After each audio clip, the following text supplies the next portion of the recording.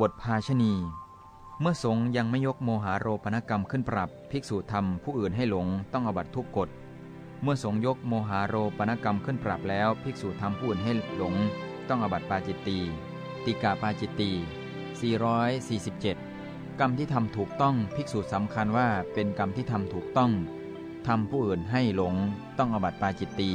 กรรมที่ทำถูกต้องภิกษุไม่แน่ใจทำผู้อื่นให้หลง ต้องอบัตปาจิตตี